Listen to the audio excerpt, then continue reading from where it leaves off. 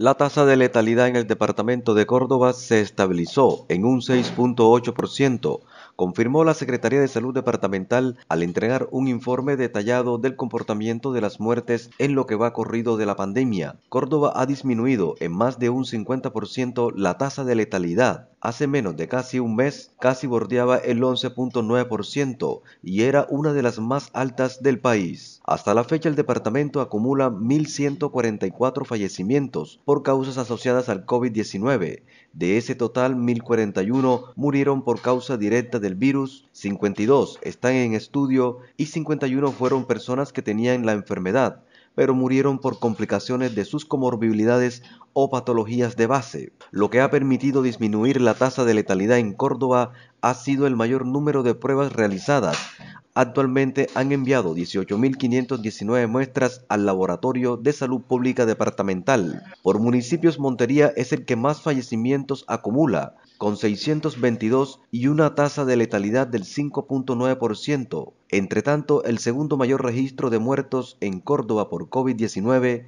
está en Cereté, con 105 decesos y una tasa de letalidad del 9.3%. El tercer municipio con más muertes por causa de esta pandemia es Lorica, que sumó 88 fallecimientos y una tasa de letalidad del 10.6%, mientras que en la subregión del San Jorge, Montelíbano, es el que más muerte acumula con un total de 39, el mismo registro que tiene Sagún en la sabana de Córdoba. La Secretaría de Salud de Córdoba explicó que de los 22 decesos reportados para el departamento de Córdoba el día anterior 21 de agosto, solo uno corresponde para esa fecha y las 21 muertes restantes a días anteriores.